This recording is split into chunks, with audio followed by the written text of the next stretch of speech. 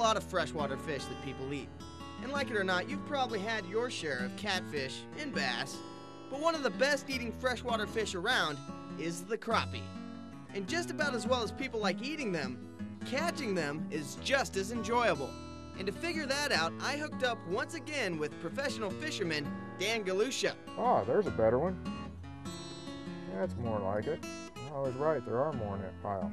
He showed me how to net a bunch of these tasty morsels without using live bait. Dan's first strategy is location. Crappie tend to congregate around and in brush piles, so if you can locate any obstructions close to or below the water, you could be looking at a prime crappie hideout. Next, you want to get yourself the proper presentation. There's many ways to fish them, but today we're using a smaller crappie jig. It's much smaller than a bass lure due to their mouth size.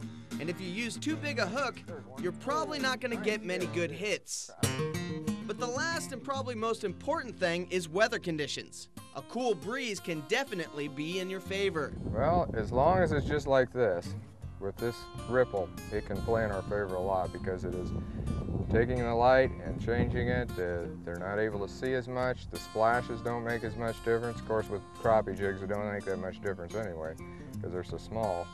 And if you got the right combination, you could catch fish after fish. Yeah, there's one. There's one. There's one. Yeah, there you go. Ah, you got a keeper size. There you go. Good fish. There's a dandy. Oh, now there you go. That's a dandy. if I can get him in. See, that was a lot deeper then. And here's another great example of my nimbleness. Last time I hung out with Dan, he nearly took my head off, yet I was fast enough to dodge his lethal lure. This time, I guess, I lost all my finesse.